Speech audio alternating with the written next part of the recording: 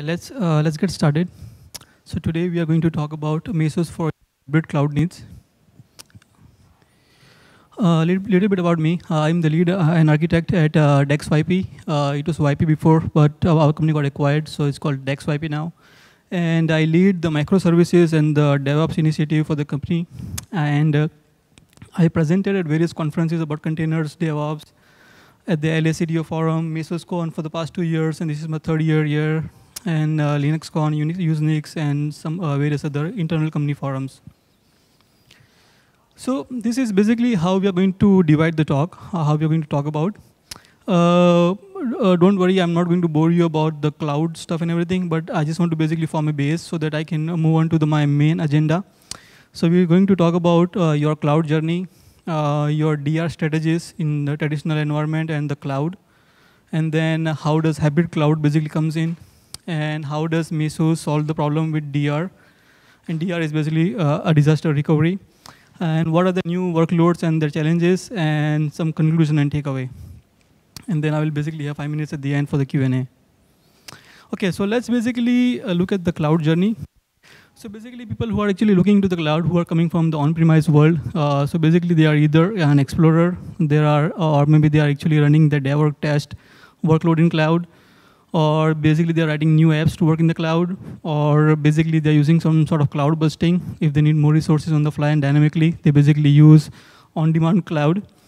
And then, uh, and some are already basically they want to move uh, everything, uh, everything uh, legacy and everything onto the cloud. And people like Netflix and everybody, they're all in. So basically, so either uh, you are in the on-premise world, but basically if you're looking into the cloud, you basically fall in these four, uh, six uh, categories, right? We choose cloud. Again, this is like very obvious. You might have heard about, heard about this from all the vendors, uh, AWS and Google Cloud guys. It's just I'm just going to list it out. Uh, the the TCO is very less. Uh, the total cost of ownership and time to market your apps, basically to run in the cloud is ex extremely fast. Basically, uh, you can just write your apps and basically you already have the resources and boom, it's basically out there. Then you have a aging hardware in your on-premise data center and then you want to basically uh, and basically to basically migrate or upgrade or do any maintenance takes a long time, uh, which is not the case with the cloud. And then you can basically very well have better resource utilization and then maybe you can say, okay, let, me just try it before I use it. or somebody you want to do on-demand cloud bursting, for example, if they need, to do more computation on the fly, they can use use that. So this is, uh, and you can just grow global in minutes without having to do too much. So one of the other, reason people are actually looking into the cloud because they want to do a better DR and a BCP planning, right? DR is for disaster recovery, and they want to basically have a better BCP planning for their basically application set of applications. Because uh, to do a DR with your on-premise stuff is very expensive. So cloud provides a cheaper alternative. And then we are sort of sort of lazy that we want to basically delegate our DR uh, responsibility to somebody else. Say, okay, okay, if cloud is doing it, let them do it, and I'm just going to pay them. And it's easy, much easier. But you might be surprised to hear about the DR, how many people are actually doing the disaster recovery planning for their applications. It's very sad, actually.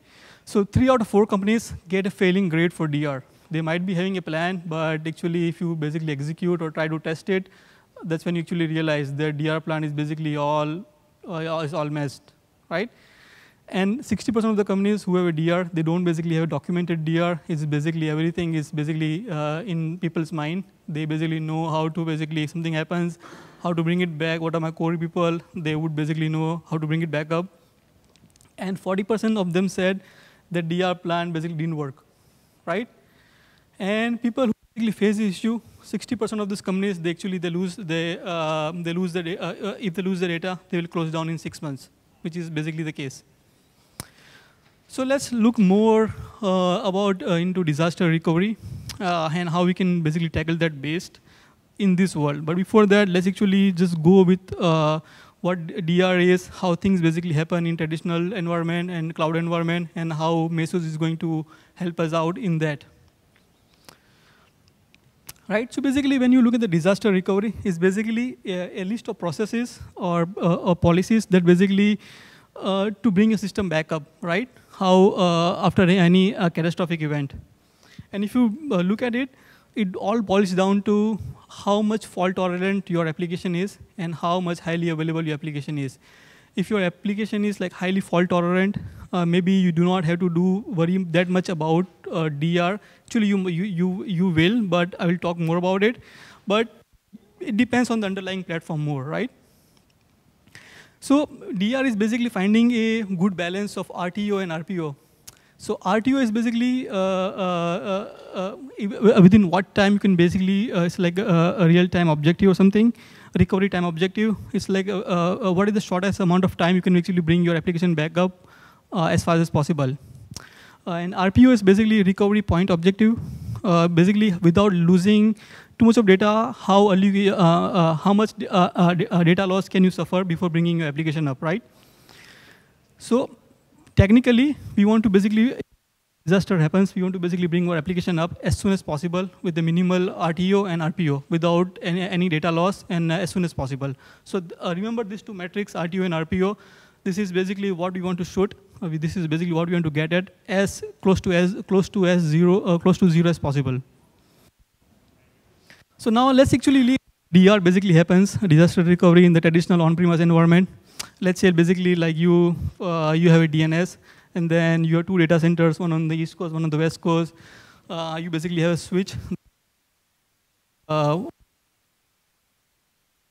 you have replicating to databases, so you have all of that, right? And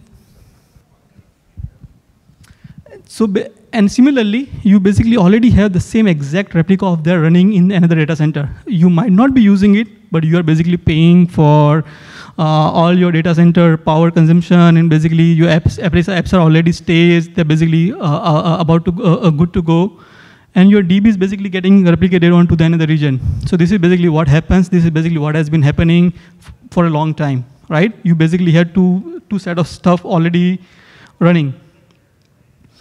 Uh, but the thing is that it's uh, extremely rapid. For example, something to happen to the region one, region two can just take it over. You can start the backup, change the DNS, and everything will be basically served from another data center in the region.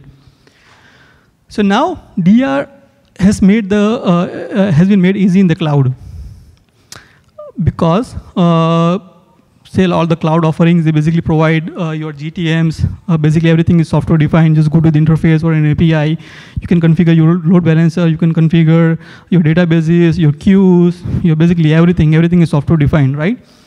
Uh, and mostly all the components of cloud, they are fault tolerant. And others which are not can be, can be made fault tolerant with the right architecture and there is no basically cost, upfront cost, right? You just basically just like provision things on the fly, and then you basically have a DR environment for you. And the backup uh, is very low, extremely low cost. And again, it's like it's a pay as you go. If you're not actually using it, you don't basically pay for it. And uh, the recovery time is, extreme, is, is, is, sort of smaller. So that's why people are actually looking uh, uh cloud as a solution for the DR. So let's actually look at how basically things happen, right? This one is like most cheapest one. Uh, there are no upfront, upfront cost. What you do is that in another region, you just like simply on the right side, you earmark your servers that I'm going to be using there, something basically happens. Uh, and then again, you're not basically replicating the data.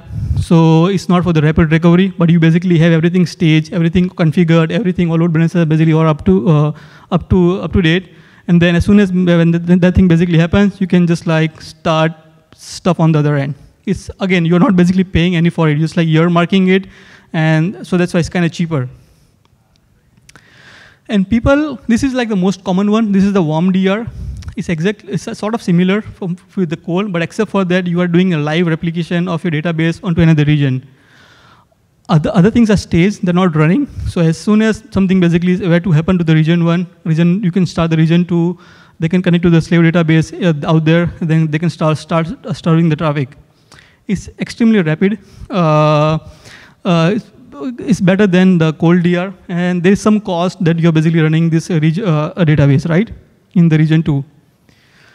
And this is like the hot DR. This is exactly similar to what you would do in the traditional environment. You basically have everything basically up and running in both the regions, multiple zones, and you basically are doing the rival application. So again, you're not getting much, but somebody who wants to do a rapid recovery uh, and their RTO time is like they want close to zero, that's what they would basically pay for it, right? If, if you're basically having a critical application which is extremely important for your company, for example, financial or whatnot, you would basically go with this approach. So, so now this is, this is all the good stuff. I spoke about the benefits and everything, but now let's look at some of the limitations, right? So you are basically now technically logged in, right? You basically, uh, let's say you basically are using a database, a relational database in, for example, in Amazon, right? You basically uh, create a volume there, map it EBS store device, and then you basically are running the database there. So now you are technically, you are using all the solutions that your cloud, cloud is actually is providing. So, are, so if you were to move to another cloud uh, vendor, it's not actually that easy. You will have to basically re-architect your app or basically do whole kind of stuff, right? Uh, and for some components, even though all your cloud offerings, they might say it's like highly available, highly fault tolerant, but still, and if you want to do plan for a DR, you cannot do that. I will just give you one example about that. I mean, I mean, uh, uh, you might have heard about S3, right? S3 is like extremely popular object storage device in the entire world. Uh, most of the companies are basically using it. But consider what actually happened. You wanted to do have a DR, but you couldn't do a DR because you relied, okay, S3 is like highly available, highly fault tolerant. So let's see what actually happened, right? So we had the big uh, Amazon uh, outage earlier in the year, in February. So yeah, their S3 basically in one region basically went down. Uh, and actually it was like, like a typo in commands from one of the engineers, so that basically affected the entire east region, right? So basically, all of these things were basically affected. For example, if you basically had your images onto Docker Hub registries, you cannot pull it down. Slack was affected. Uh, basically, Imgur. So bunch of stuff that basically had that files or whatnot, they basically started to act up. It, it wasn't recoverable. And you would think that company as big as Slack or Docker or whatnot, they might have some better DR planning, right? But this is this is basically what happened. They relied completely on S3 and they couldn't basically uh, uh, got it back up. And again, not only that, like lots of IoT devices, say like thermostats, light bulbs, they were impacted and they didn't know how to basically uh, uh bring them back up. And again, the, the, other thing was that since like it was using the files from the object store, even the health dashboard was showing the wrong status, right? Instead of showing the green color, it was showing red color because it was not able to pull those files out properly from the S3. So what Amazon did, they were using the Twitter handle to communicate any changes uh, that basically, uh, that, okay, this is uh, what my region is uh, not available, this is uh, how it is, uh, is going to be available. So they, they're using the Twitter handle to communicate all of that. So to overcome that, so people have been working uh, with the hybrid cloud stuff, right? Hybrid cloud is actually getting more and more popular now. But let's look at some of the hybrid cloud, uh, hybrid cloud solutions that are out there in the market, right? So basically what they do is that they basically abstract uh, the cloud offering. It's like a vending machine. For example, let's say you want to create an environment for Rails or Ruby on Rails, right? Just select the image, it's going to provision the same image across multiple cloud vendors, uh, Amazon, Google, or whatnot, basically, right? So it's like a vending machine. It's very easy for uh, if you basically use that. So they basically abstract both. They basically abstract the infrastructure as well as the software, basically. Anything, if you are basically using any software as a service for any of the cloud platforms, say like any EBS store or cloud, uh, load balancer, so they basically have abstracted that, that basically works across all those cloud offerings as well as your on-premise stuff. So basically, let, it lets you run your workload in the multi-cloud environment, right? You can run the same workload. You can just move it around. You can run it like in your on-premise, uh, private, public, wherever you want to do. Because now you're using a unified, a common interface to basically your apps are basically talking to. And some of the most popular ones that are out there in the market are RightScale, Scalr, VMware. There, there's a whole lot of people that basically are basically uh, providing this sort of solutions, right? Uh, again, like as I said, like a common API and UI to manage all of your workload, uh, provision, and do orchestration and basically all of that, right? And the best thing they basically uh, let you do is that they basically tell you how much you're using in your cloud and how much you can save money, and then uh, you are unnecessary using this many instances which you don't have to. So they basically do all that sort of cost evaluations for you to basically take some actions. And then the other thing is that if you want to run the same workload on your on-premise, then you would have to install your cloud controllers for these solutions onto your on-premise, and your apps have to be re-architected or redesigned that talks to this cloud controller so that's another whole thing, right? So we wanted to get away from the logged in, uh, locking in from the cloud offering, but this is exactly what we have gotten into. Now we are hybrid cloud or logged in, right? For example, if I'm using, I'm just giving an example, I'm using this uh, RightScale API to basically to abstract everything. So it now technically now I am basically logged into the RightScale right? So all my applications are basically talking to the APIs of RightScale, and if I just want to just take it out and replace it with something else, it's a whole big challenge, right? So this is exactly what they were trying to solve, but again, again, and uh, the other thing is that, as I said, uh, you will have to change all your apps to basically talk to this cloud controller that you install on your on-premise so that your apps can talk with a unified API or interface with the, with the rest. So this is like one of some of the limitations. Uh, and again, if you are using any uh, cloud vendor, hybrid cloud vendor, they have to keep up with all the updates from the upstream. For example, if uh, Amazon or Google change some, some APIs for their block storage or load balance or whatnot, so they will have to basically keep up with that. Uh, and again, it's not sophisticated to run all the new kind of workload on a unified platform. You will have to do lots of stuff on your end it's good, for example, if you want uh, to abstract uh, the, under, the, underlying services uh, of this cloud people as well as the infrastructure. But if you are talking about running the new kind of workload, so you, you are basically on your own. I will, I will tell, tell what it is, right? So what, so then what is the solution? So what do I do? I mean, people are basically selling me all kinds of stuff. Uh, they're selling me cloud offerings. They're selling me hybrid cloud uh, solutions. So what do I do, right? So uh, how to basically solve this issue? So when I'm using any hybrid cloud solution for a DR, I want, these, some, these are some of the things that I basically want. So I don't want any vendor specific solution. For example, I do not, I just want to if I want to spin up something on my own, a container, for example, I don't want to be relying on this Amazon EC2 con uh, uh, container service. Everything should be very, very generic, very, very uh, uh, abstracty. I don't want to rely on any underlying cloud offerings that are each and every, each and every vendor is providing. And again, software as a service is a strict no-no. I don't want to rely or basically use any of the vendor cloud offerings at all, basically. This is a strict no-no. So, but yeah, if you are talking, if you're convincing me about running uh, using cloud as an infrastructure, then yes, I want to use that because it's cheap. I can spin things up very fast. So infrastructure, uh, IaaS is a yes for me. But SaaS, SaaS for cloud is strict no. And then I want complete full portability. I only want to rely on open source tool to basically to for everything that I basically what this, they are actually offering for basically starting with the container service, block storage, object storage, uh, volumes, and all of that, right?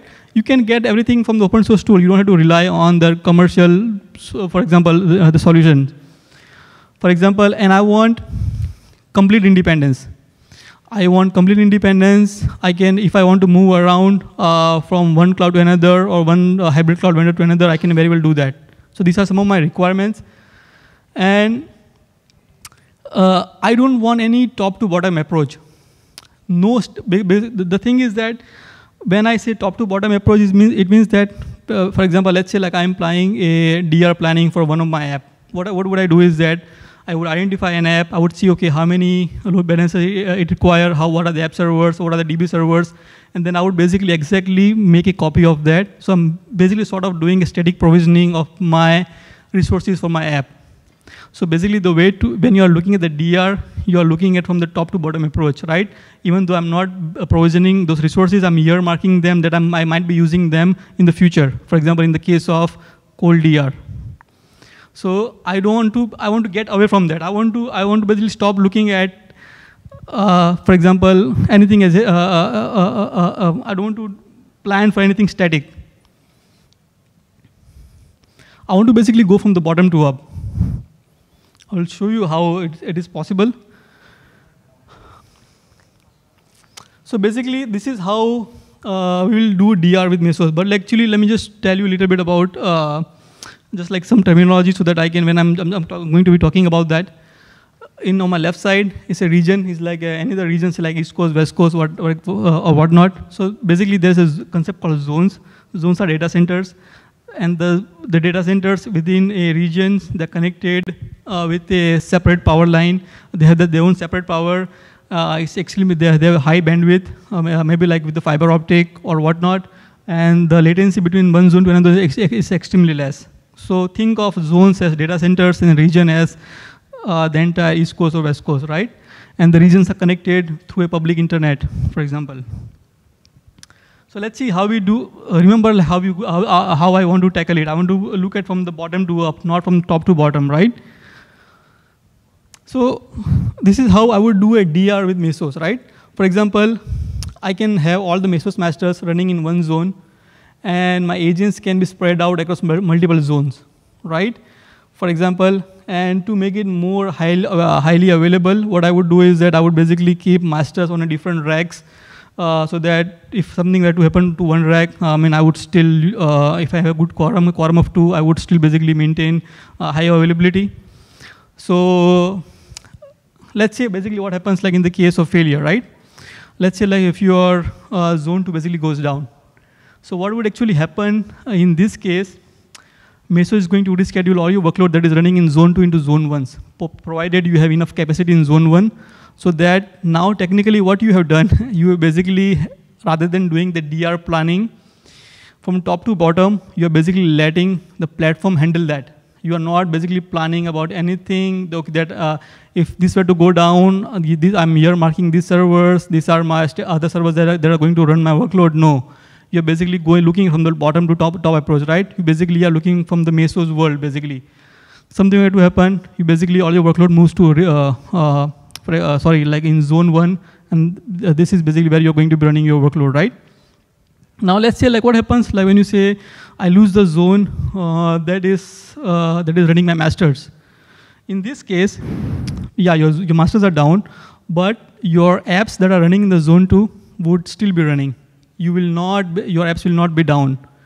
They will not get the new workload, but your apps will continue to function. They will have the right, uh, they will have the right load balancer in front of them.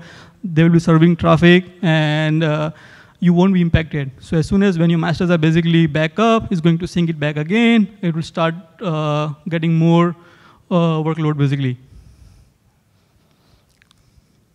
Right? So now you said, okay, I want to do it uh, maybe like even better than that. So what you can do is that you can do some another approach called like multi-zone masters. For example, you can spread out your masters into multiple, multiple zones. For example, uh, zone one has master one and master two and whatnot. And then at a given point of time, one of them is a leader, and they basically handle all the uh, workload distribution and, and scheduling and everything. And let's say if you basically lose one zone in this setup, uh, then master 2 from another zone will become the leader and will basically just uh, pick up the slack, right? But this is not been tested thoroughly. Uh, it's a still work in progress, but I think this is the future, right? I mean, because like you want to, you're talking about high availability and fault tolerance and disaster recovery. So this is how you should basically look at rather than uh, doing the static provisioning, which Mesos has basically gotten us out of from, right? But especially in the terms of disaster recovery, this is how you should basically think about. Maybe like try to, if you're writing, if, you're designing data center, try to work with the zones, basically identify zones in a particular region, uh, spread out your masters there, and then run your workloads. Uh, uh, this is how you should basically architect.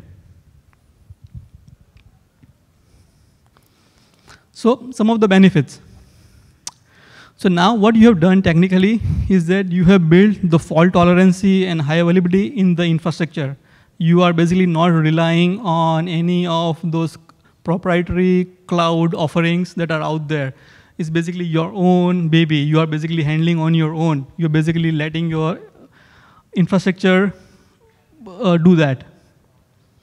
I mean, don't get me wrong. You still will have to do a DR, but you will have to do a DR for the platform level, not at the individual application level. You will have to think about, like, like as I spoke about, you will have to talk about, think about how would I do a DR with zones and regions and that kind of stuff, rather than worrying about individual applications or uh, on that level. And like, again, like as I said, like there are no static provisioning of any resources. You're not logged into any vendors.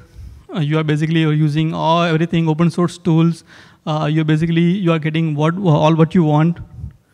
Uh, and maybe you can use uh, cloud uh, for backup, for example, right? And then maybe you can run primary on your on-premise. You can very well use object storage in the cloud for your backups or uh, database there for your snapshots or basically anything. And all the Mesos components and that ecosystems is basically built are built from the open source tool. For example, if you want you have Docker, if you want to if you use message queues, you have Kafka. If you want to run build pipeline, there's Jenkins already out there.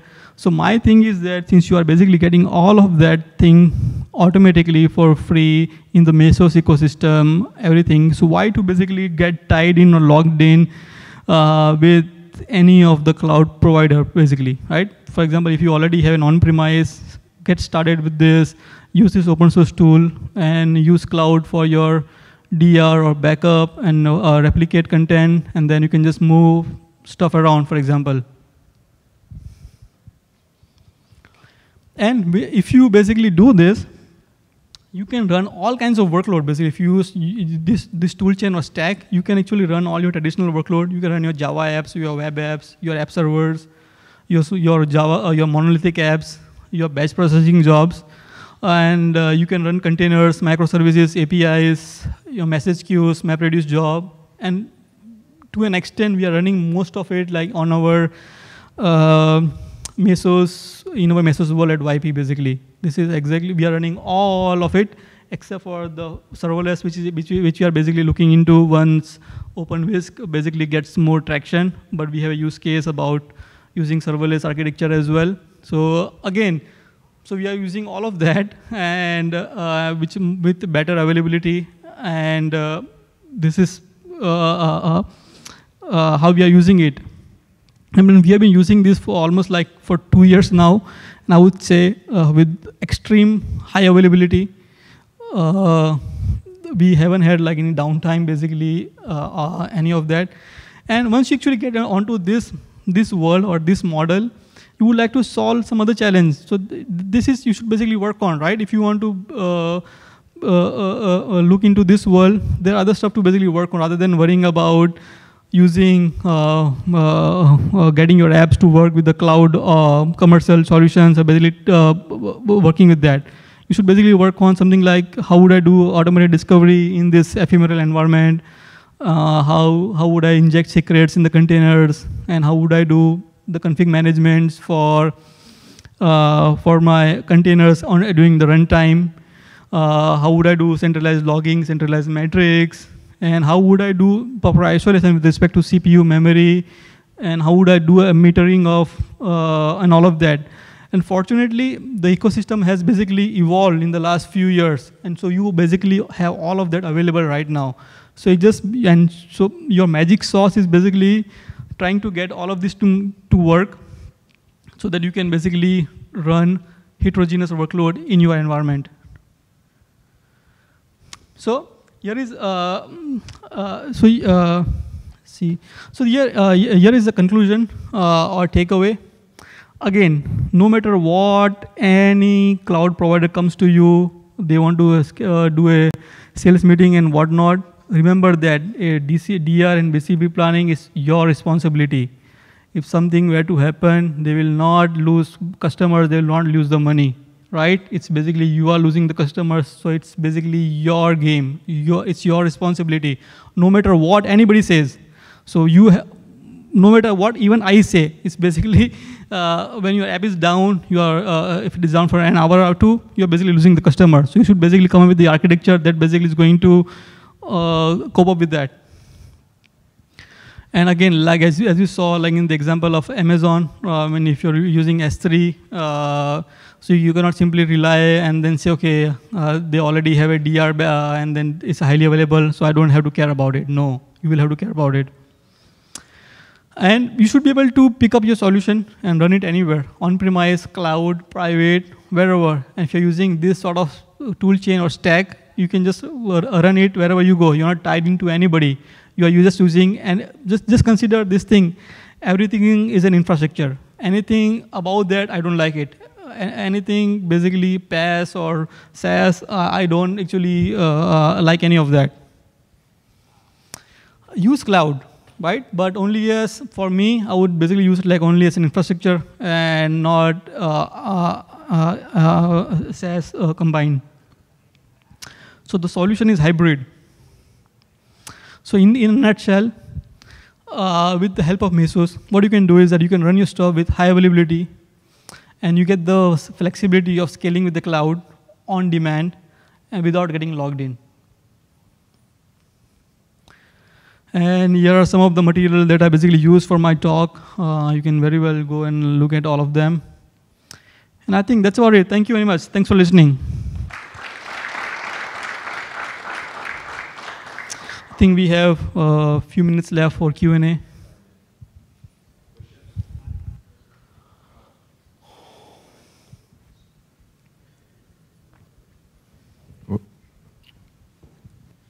Are there any caveats to running Mesos across multiple data centers in the same cluster, or is it just that easy, like install it and? So basically, I think it's uh, the thing is that you can. Uh, uh, I mean, you have to basically uh, architect in a way that you are running, basically you're spreading out your masters in like multiple zones, but uh, it's not going to work between multiple regions. That thing is a strict no-no because like it's using the public internet, right?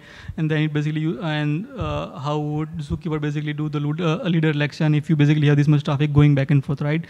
But if you're using the zones within the same region, they are connected with a high band, higher bandwidth fiber optic cables so that it's, it's better. And maybe again, this has this hasn't been tested at that scale, but I think they are DCOS and these guys are basically working on it to make it more, uh, more of that. So I think we will see more of that coming. Uh, but right now, what uh, if you are asking me whether we run it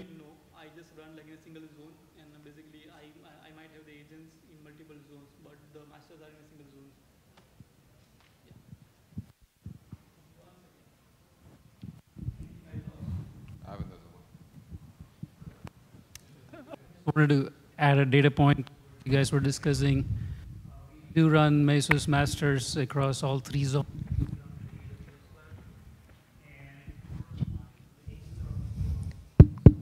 Uh, yeah. In the master, zookeeper elected leader, we run five masters.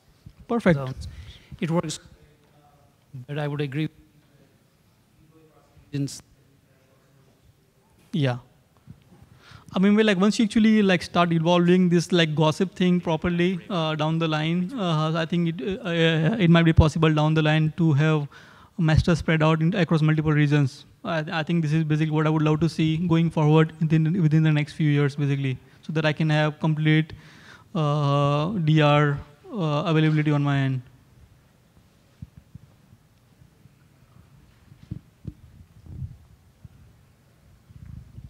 No more question? No? All right. Thank you very much. Thanks, thank you guys.